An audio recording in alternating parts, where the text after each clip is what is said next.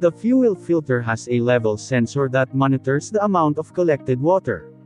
When the level reaches its maximum capacity, the fuel filter warning light comes on to remind you that the filter needs to be emptied.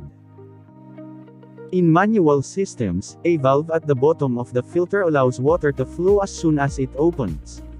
When the filter empties automatically and the indicator light comes on, it means that an error or malfunction has been detected and should be checked as soon as possible. This warning light may indicate that the drain is plugged and the system cannot empty itself. There is a code stored on your computer to help you determine the cause of the problem. Check your vehicle with a scan tool to find a code or a stored code. Do not ignore this warning light. Otherwise, the system will fill with water and leak into the engine.